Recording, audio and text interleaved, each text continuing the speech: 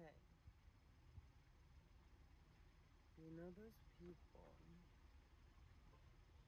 that tell you, oh, we have to go, please be at my house soon.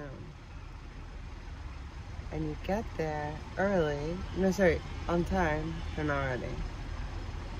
you ask them if you can hop into Ross, dress for less. In and out.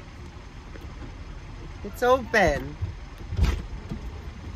You know, pop into dress for less. In and out. Not In-N-Out burger, just one stop, dress for less to get candles. I don't eat fucking hamburgers. No, you can't go there. I'm almost done shopping. 20 minutes later, guess who rolls up to the car?